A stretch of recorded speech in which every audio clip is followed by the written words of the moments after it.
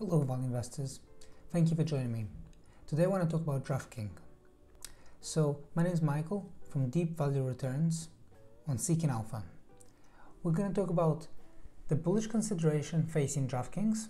Then, we're going to talk about some of the detractions that I see taken away from its valuation. And lastly, we're really going to just discuss how the stock is priced.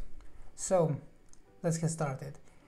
So DraftKings, the biggest, most bullish consideration here is that this is a very fast growing betting company, okay? So it made a few acquisitions um, last year. So reported here, you can see that the company is guiding for approximately 79% year-over-year growth rates for 2021, okay? So we're about to go into Q2 earning seasons for DraftKings and I fully expect that they would actually raise this guidance even higher. Uh, they probably would have been conservative on the going in, so they probably halfway through the year would raise the guidance there. So it's a very fast growing company, okay?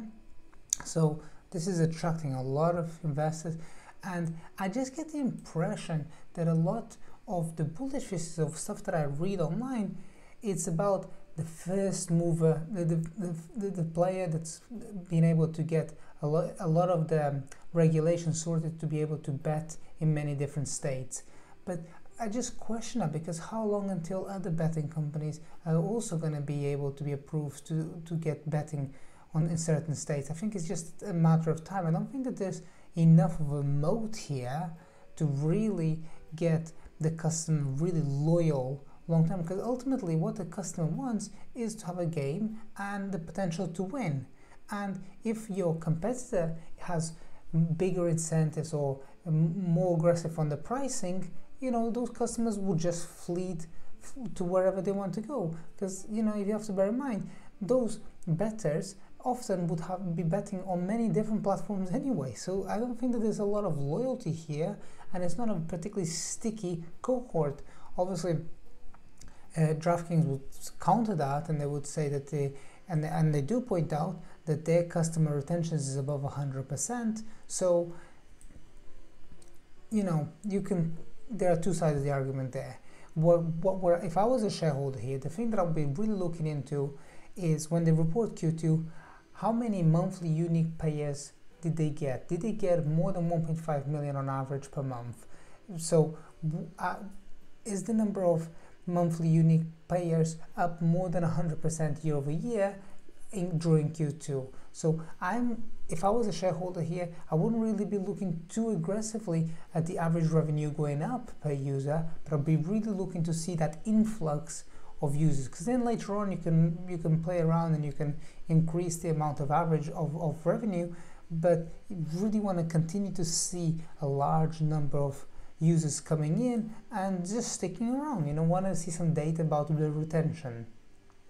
Now, as I noted in the introduction, there are some bearish considerations here. So, the biggest thing that I can that I can point out to is that there are so many different gambling outlets, and it ultimately if the, the customers, if the, the competitors have, have more compelling offers, games that are more sticky, more attractive, gamblers will just go to wherever they want to go. You know, there's not a lot of there's not a lot of loyalty in this game, and there's there, a lot of it is to do as well with having new games. You know, gamblers want to play something new as well and jazzy and stuff like that. So I think that that's one of the aspects here.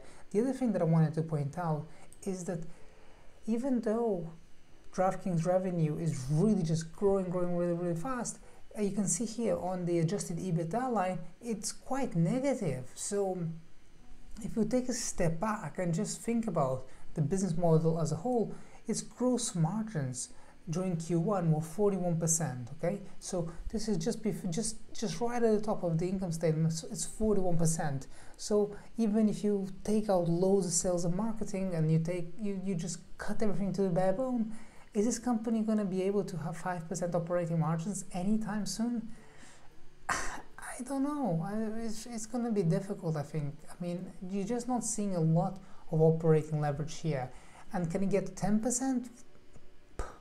I mean, it's going to be, it's really, really difficult to see a reasonable path that this company over any time soon is going to have is going to be close to break even. So with that in mind, um, you know, the stock is priced at 17 times forward sales. Yes, it is growing very, very fast, and you, that's a valid argument. And if you're willing to take a leap of faith and you're willing to hold on to this company for, let's say, three or four years, it's possible that DraftKings can grow into that valuation. That's possible. Um, you know, it, it, a, a, lot of factors come into play there, but I am kind of skeptical that paying up so much for that is really worthwhile. So I'm just going to put in a company. I own this company. I own Skillz. I'm a shareholder there. So that's the caveat right there. So I'm probably biased in my appraisal there, but Skillz is also priced at very similar valuations, kind of a nudge lower, 16 times forward sales rather than 17 times forward sales for DraftKings. But Skillz contends that by 2022 they're already going to be on the break-even line. So it's already it's it's a business model which is much more attractive to me because what they they have just as a platform where they have approximately 9,000 developers all trying to get their game to surface and Skillz just takes a fee from that, so they don't have to invest anything in the games because the developers are develop, invest in the games. So it's more of a marketplace in a sense that you you they get the, they have to invest in the user acquisition in the same way the DraftKings invest into getting um, customers on board, but they don't have to invest anything in terms of the games. So it's a more compelling,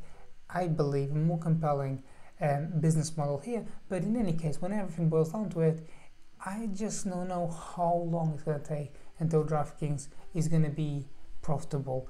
Um, so with that in mind, if you want to find out which kind of stocks I own, uh, stuff like Skillz, I have other investments as well, don't forget to check out my marketplace. You're welcome to do a totally free trial to see if it suits you. Cancel anytime before 14 days, and you know if you like it, you stick around, and if you don't, at least you tried. And um, hopefully, yeah, hopefully I'll see you soon. Okay.